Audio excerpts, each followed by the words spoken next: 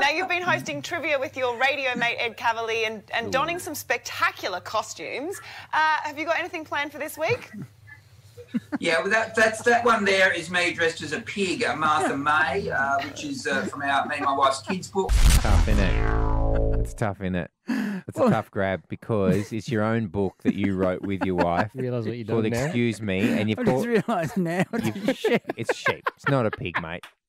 It's your own book, and you're dressed as it. So not only have you got the animal in your own book wrong, but you're looking at a picture of yourself I thought I looked dressed like, as it. and I thought I looked like a pig. you know, So- that's more says more about my own lack of self worth than it does the book that we wrote. No, it's, yeah, it's, that's me. That's me. Oh god, that's Freudian, isn't it? I look, I look at myself and I see pig. there's a lot. There's a lot going There's a on. lot going on, man.